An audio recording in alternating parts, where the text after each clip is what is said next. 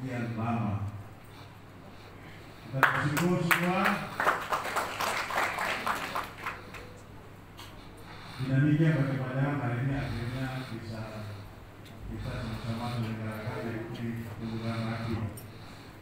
Uh, saya percaya ini bukan terjadi karena kebetulan, tapi semua terjadi karena rencana dan kehendak Tuhan.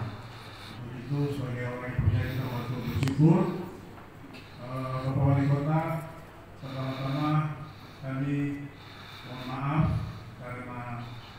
kesempatan hari ini hari harusnya Ketua DPD DPD Provinsi Kabupaten Tegal Bung Ani Nyabalin yang harus hadir. Namun dalam waktu yang bersamaan dalam kapasitas lain beliau juga partai politik juga tingkat pusat. Beliau juga pengurus DPP KPI yang sedang mempersiapkan pelaksanaan